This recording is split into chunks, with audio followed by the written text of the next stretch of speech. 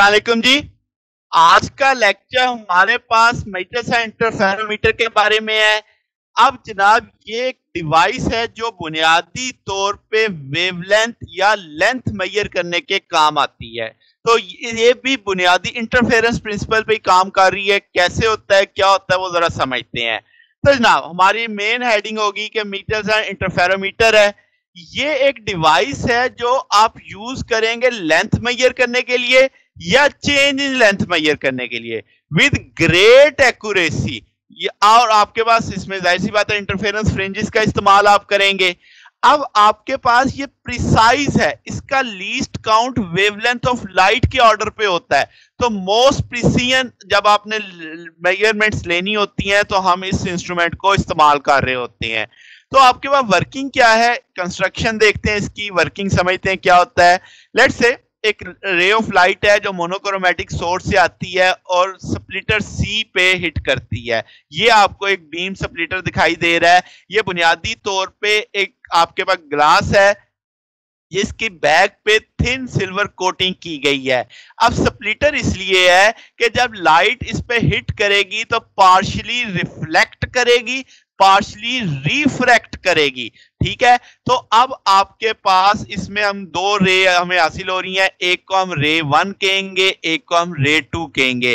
रे वन आपको नीचे राइट पे जाती दिख रही है और रे टू आपको अप जाती हुई दिखाई दे रही है, ठीक है? तो लेट से जो हम कहेंगे जो एक पार्शली रे जो लाइट आई मेरे पास, उसका जो हिस्सा है, वो सिल्वर सर्विस में से पास करेगा और वो कंपनसेटर में से गुजरेगा डी में से। अब आपके पास फिर वहाँ से सामने मिरर है M1 वहाँ से टक्कर खा के वापिस आएगा और फिर वो जो आपके सामने सिल्वर सर्विस है, उससे टक्कर खा के ऑब्जर्वर तक चला जाएगा। ठीक होगी बात? अब आपने क्या किया कि जो कंपनसेटर है, इसको बीच में क्यों रखा? तो अभी इसका मकसद आपको तब समझ आएगा जब आप रे नंबर टू को पहले समझेंगे। तो अभी मैं अभी लिखा हुआ है, मैंने, मैं ऐसे समझाता हूँ। पहले मैं रे वन और रे टू के पाथ तय कर दूँ। तो क्या हुआ? जल्दी जल्दी बताता हूँ। लाइट आई पार्शली रिफ्लेक्ट पार्शली रिफ्रैक्ट जो रिफ्रैक्ट हुई, वो एक कंपनसेटिंग ग्लास से गुजरी, फिर वहाँ से सामने मिरर आया। मिरर से टक्कर खा के वापिस आई। फिर उसी कंपनसेटिंग ग्लास से गुजरी सिल्वर कोटिंग पे हिट की, वहाँ से रिफ्लेक्ट होके ऑब्जर्वर तक आ गई। तो रे वन का पाथ समझ रहे हो?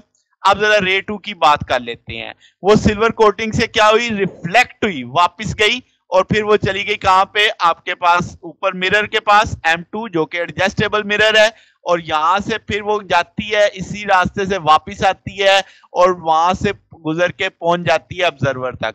अब इसमें ना जो कंफ्यूजिंग चीज़ है, वो एक चीज़ बस समझ लें। यहाँ पे लाइट जब भी किसी सतह को टक्कर खाएगी, हमेशा दो काम करेगी पार्शली रिफ्लेक्ट पार्शली रिफ्रैक्ट मैंने इस तस्वीर में सिर्फ़ वो चीज़ें बनाई हैं जो उनकी मुझे ज़रूरत है। जैसे जो कंपनसेटर देखो, जब ये इधर जा रही है तो यहाँ से भी रिफ्लेक्शन होगी, मगर मुझे उसकी ज़रूरत नहीं है, मैंने बनाई नहीं। यहाँ से देखो, जब वापिस आ रही है तो यहाँ से भी रिफ्लेक्शन और रिफ्रैक्शन होगी। तो मैंने अब रिफ्लेक्शन नहीं बनाई, मैंने रिफ्रैक्शन बना दी सिर्फ़। बात समझ आ रही है? तो अब आपको समझ आ रही है कि जो रे की मुझे ज़रूरत है, सिर्फ़ वो बनाई है। मामला हर जगह पे दोनों ही हो रहे हैं। रिफ्लेक्शन और रिफ्रैक्शन दोनों हो रही हैं। तो रे वन का पाथ आपको समझ आ गया रे टू का तो सादा से है कि ये ऊपर जाती है एडजस्टेबल मिरर पे मिरर से हिट करके नीचे आती है तो वहाँ से फिर उसी आपके पास बीम सब्लिटर जिसे सी का नाम दिया हुआ वहाँ से गुजर के पहुँच जाती है आपके ऑब्जर्वर तक।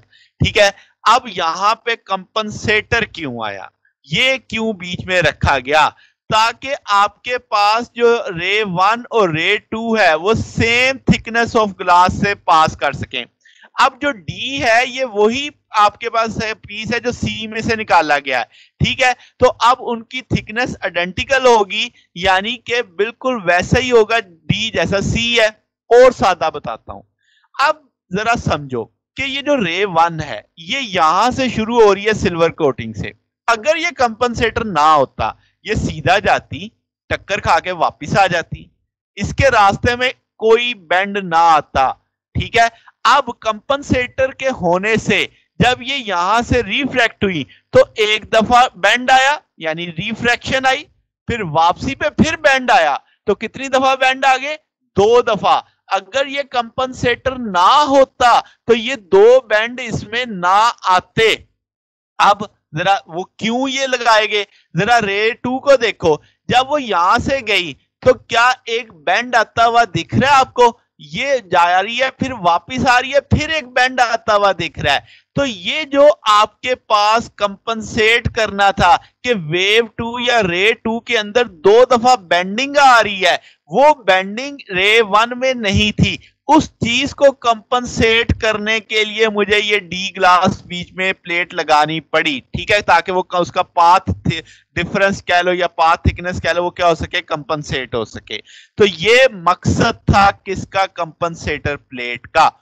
अब क्या जनाब? जरा नीचे चलते हैं। अब अगर हम कहें कि शिफ्ट आपके पास जो ऑपरेटर्स है, इसे आपने एक रिजिड फ्रेम पे बाँध दिया है, जो मिरर M2 है, ये मूवेबल मिरर इसे आप एडजस्ट करेंगे, ठीक है? तो अब क्या है? पहले तो ये चीज़ समझ लो, तस्वीर देख के भी आपको नज़र आ रहा है कि L1 और L2 शुरू में बराबर हैं। लेट्स जब आपने प्रैक्टिकल स्टार्ट किया। हो भी सकते हैं, नहीं भी हो सकते। मिरर M1 और M2 एक दूसरे के साथ एग्जैक्ट परपेंडिकुलर दिख रहे हैं। ठीक है? अब जो वर्चुअल इमेज M1 से आएगा, वो रिफ्लेक्शन से आएगा आपके पास। सिल्वर सर्विस से, यानी यहाँ से गई, रे रे से आई, वापिस आई ऑब्जर्वर की आँख तक आई। तो वो एक इमेज बनेगा। इसी तरीके से जो आपके पास ऊपर से आ रहा है M2 से ये वाला, ये कंसाइड करेंगे आपके पास कहाँ पे? मिरर M2 पे। तो अब जनाब ये लाइट जो रिफ्लेक्ट होंगी इन सर्फिस से, वो इंटरफेरेंस फ्रिंजेस बनाएँगी जब वो ऑब्जर्वर के आँख तक पहुंचेंगी। और सादा सादा बोलूँ, यहाँ से लाइट गई वापिस आई ऑब्जर्वर की आँख तक, यहाँ से लाइट ऊपर गई, वापिस आई ऑब्जर्वर की आँख तक, दो रेज नीचे आ रही हैं, जैसे ऊपर वाली फिग में आपको अच्छा दिख रहा था। अब इनके बीच में पाथ डिफरेंस हो भी सकता है, नहीं भी हो सकता। अगर पाथ डिफरेंस यानी one lambda two lambda three lambda का हुआ तो कंस्ट्रक्टिव हो जाएगा। अगर lambda by two three lambda by two five lambda by two का होगा तो डिस्ट्रक्टिव हो जाएगा। तो ये चीज़ हमने लिखी कि आपके पास इंटरफेरेंस फ्रिंजेस बनेंगी। अब अगर मैं कहूँ कि M2 को मूव करते हैं लेमडा बाई टू अब जरा सोचो, जब M2 को मूव करेंगे लेमडा बाई टू तो लेमडा बाई टू नीचे आ गया। तो सोचो लाइट आपके पास जो ये रे टू थी, इसमें कमी होगी, ऊपर जाने वाली में भी, नीचे आने वाली में भी। तो लेमडा बाई टू ऊपर जाने वाली का काम होगा लेमडा बाई टू नीचे आने वाली का काम होगा। तो जो टोटल चेंज आ जाएगा आपके पास, वो कितने का आ जाएगा? लेमडा का। बात समझ गए ये बड़ा टेक्निकल सा पॉइंट है कि जो एम टू नीचे आया तो आपके पास रे टू का रास्ता थोड़ा हुआ तो वो ऊपर जाने वाली रे का भी थोड़ा हुआ, उससे टक्कर खा के नीचे आने वाली का भी थोड़ा हुआ। तो आप बोलोगे कि आपके पास जो पाथ डिफरेंस बनेगा, वो लेमडा का होगा। अब फ़र्ज़ कर लो कि अगर पहले यहाँ मिसाल दे रहा हूँ सिर्फ़, कि अगर ये छह लेमडा थी और ये भी छह लेमडा थी। अब जब एम टू नीचे आ गया तो सिर्फ़ पाँच लेमडा रह गई। तो छह लेमडा और पाँच लेमडा में जो फ़र्क आएगा वो आपका वन लेमडा का होगा तो कंस्ट्रक्टिव हो जाएगी। तो आपको एक ब्राइट फ्रिंज दिखाई देगी, ठीक है? तो इसका ना जैसे जैसे मिरर नीचे मूव करेगा तो आपके पास क्या होने वाला है? कि आपकी आँख तक कभी ब्राइट फ्रिंज आएगी, कभी डार्क फ्रिंज आएगी, कभी ब्राइट फ्रिंज आएगी, कभी डार्क फ्रिंज आएगी। ठीक होगी बात? तो अब इसका मतलब आप फ्रिंज की जो पोजीशन है वो टेलीस्कोप या आई से देख सकते हैं क्रॉस वायर लगा के। अगर एम फ्रिंजेस आप देखते हैं, जो ऊपर जब आपका मिरर मूव कर रहा था वाइड डिस्टेंस में लेट से एम हम कह देते हैं कई हज़ार है तो इसका ना डिस्टेंस भी बहुत बड़ा होगा। तो आप बहुत एक्यूरेसी के साथ मैयर कर सकते हैं एक्यूरेट वेवलेंथ मैयर की जा सकती है। ठीक हो गया बात? यानी अगर आपको डिस्टेंस मालूम है एम मालूम है, और आप, यानी वाई डिस्टेंस और एम मालूम है तो आप क्या मालूम कर सकते हो? वेवलेंथ मालूम कर सकते हो। और इसका मुतबादल भी है कि अगर आपको वेवलेंथ पता है, और आप फ्रिंजेस गिन के फिर वाइड डिस्टेंस निकाल सकते हो, ठीक है? तो ये जो डिस्टेंस होगा, ज़ाहिर सी बात है कंपेरेबल होगा किसके वेवलेंथ ऑफ़ लाइट के? मैंने बोला था इसका जो लीस्ट काउंट है। जो इसकी प्रिसीजन है, वो इंतहाई इंतहाई कम है। वेवलेंथ ऑफ़ लाइट के कंपेरेबल है। ठीक है? अब इसी बात से वेव एक लेंथ का स्टैंडर्ड बनाया गया। जो माइकल के एक बहुत बड़ी अचीवमेंट थी। इसने कहा कि एक मीटर कितना होगा? अगर आपके पास इतनी wavelength one double five three one six three point five wavelength किसकी? कैडमियम की। अगर वो आप काउंट करते हैं, इतनी ब्राइट फ्रिंजेस आप, इतनी फ्रिंजेस काउंट करते हैं तो वो जो मिरर M2 मूव करते करते करते नीचे आएगा, वो कितना होगा?